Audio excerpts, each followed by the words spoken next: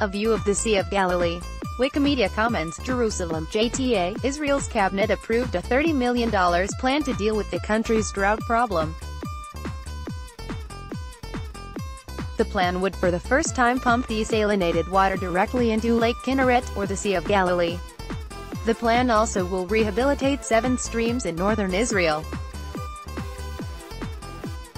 Over the years Israel has shown an amazing ability to deal with the water problem, which has caused endless conflicts in our region for thousands of years, also in the new era.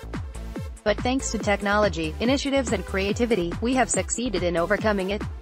Prime Minister Benjamin Netanyahu said at the start of the weekly cabinet meeting on Sunday. Usually we pump water from the Kinneret and bring to various parts of the country. Here we are bringing desalinated water to the Kinneret because as we desalinate water on the coast in the water it goes to waste because there is no use for it.